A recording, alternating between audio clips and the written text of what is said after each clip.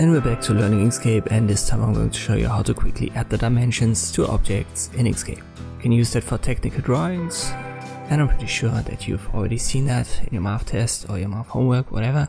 Let us create an object, in this case a rectangle. If we know the dimensions, we can use them, so let me use 600 times 300 pixels and afterwards select the object, go to extensions, visualize path and dimensions. We get a very simple menu, just check the live view.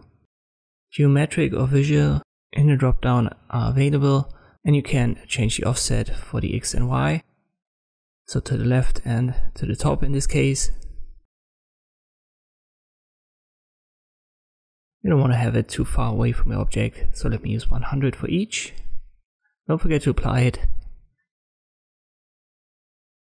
So it's a group when you press Shift Control G, you can get the object out of the group and you can see what was actually rendered. So we know our size is 600. So let me just use the type tool here. I'll paste it in.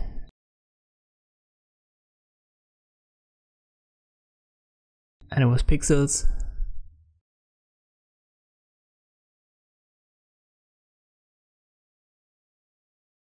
As you can see here in the drop down. But in some cases you might not know the size of your object. So let me just create a random object here.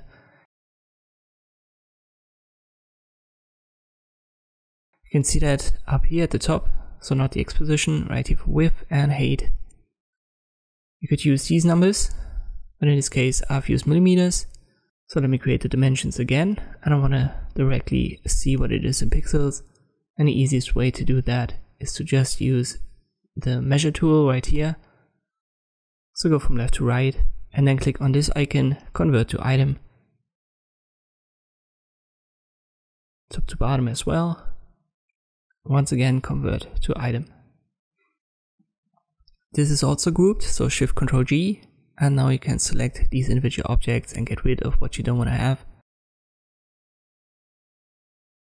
Just select it individually and press the delete key.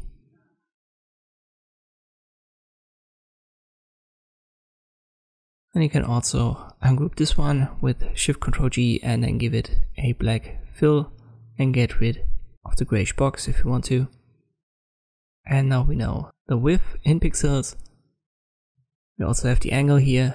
Maybe you want to get rid of it. 90 degrees is easy to see. Keep in mind that the dimensions are added to the fill so if you have a stroke to your object, you will see that the stroke will exceed the lines of the dimensions. So always be cautious with that.